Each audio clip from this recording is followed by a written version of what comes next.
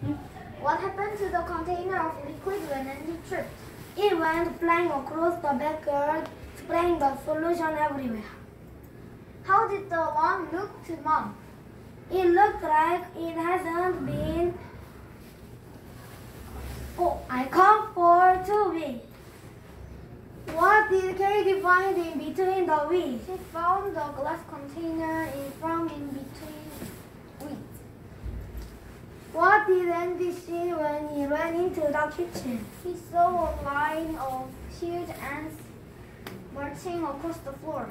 The concluding sentence is Andy knew his fault of his that of it was his fault that everything in the garden became larger, bigger.